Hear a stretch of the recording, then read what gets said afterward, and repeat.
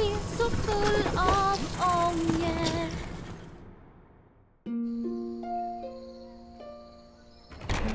Du Aja, har du någonsin önskat att få bli adopterad så du fick bo någon annanstans? Nej. Om någon skulle vilja adoptera mig skulle det vara knäppisar.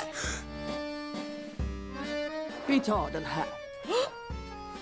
Första gången jag gör någonting mot min vilja. Hur blev det så här egentligen? Låt mig klargöra ett och annat först. Mitt namn är Bella Yaga. Jag är häxa. Fint! Du går med på att lära mig allt du kan om magi och så kan jag vara din assistent. Om du arbetar hårt kommer du inte att fara illa. En formel för att vinna första pris på en hundutställning. De här är helt värdelösa för mig. Formeln du letar efter står någonstans i slutet. Va? Kan du prata? Jag är inte alltid så pratsam.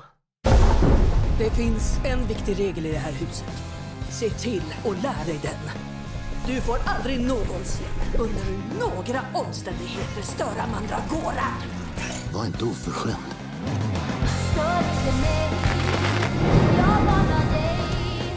Tvestjärtarna. När en häxa ger sig av kan bara en annan häxa ersätta henne.